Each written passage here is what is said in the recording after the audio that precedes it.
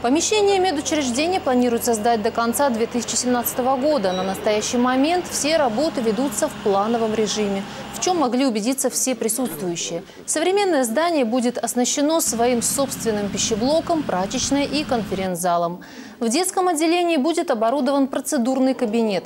Всего больница рассчитана на 100 посещений амбулаторного обслуживания в смену и 36 койко-мест дневного стационара.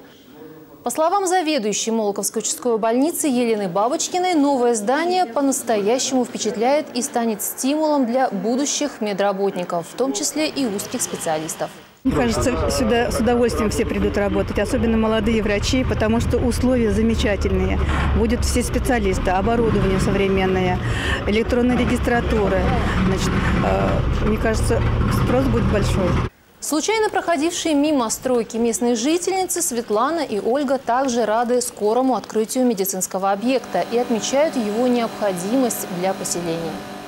Здесь очень много пожилых людей, которые могут там как-то подлечиться, да, чтобы вот не ездить на видное в больницу, потому что это тоже достаточно, но сложно. Хотелось бы, не знаю, обратиться э, к нашим главам нашего района, чтобы ну, специалистов как-то обеспечили, не знаю, жильем, чтобы все-таки сюда люди тянулись, тянулись работать и не уходили. Потому что когда э, маленькие дети, в принципе, не дети, да, чтобы ты э, получал э, достойное обслуживание, а, ну, скажем так, не отходя от кассы, далеко никуда не ездя и не платя бешеных денег за платную медицину.